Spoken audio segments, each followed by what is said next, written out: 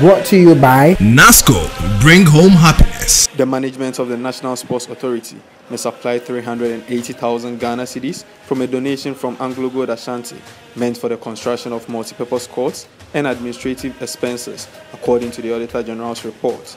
The report goes on to indicate various payments which were done above the certified amounts. Institutions under the Ministry of Youth and Sports are reported to have recorded 4,136,742 in financial irregularities for the year 2014.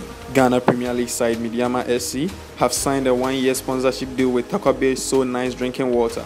The club has confirmed the water company will provide the club's drinking water for the entire season.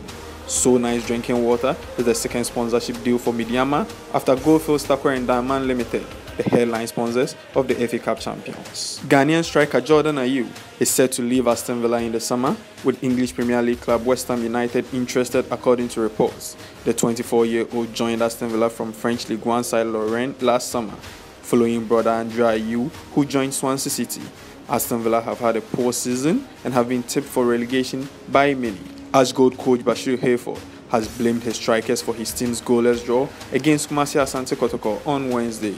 The coach said in his post-match interview, quote, I will emphatically say my strikers failed.